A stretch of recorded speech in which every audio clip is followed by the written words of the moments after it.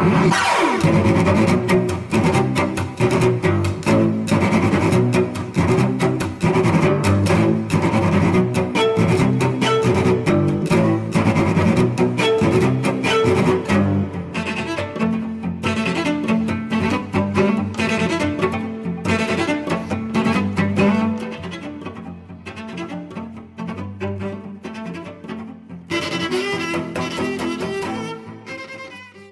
We're at the Ueda Fire Department where they're doing a demonstration of their rescue truck. The ladder can go up to 35 meters. There's two or three personnel in it at the moment.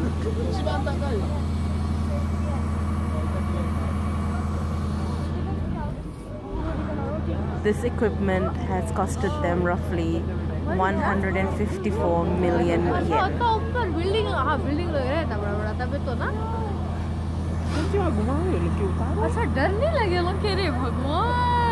She's obviously scared.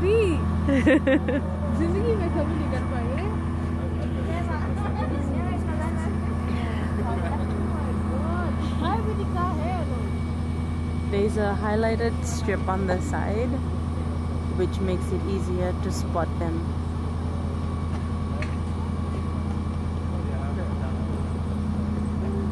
The fire department here has fire trucks, rescue trucks, and an ambulance.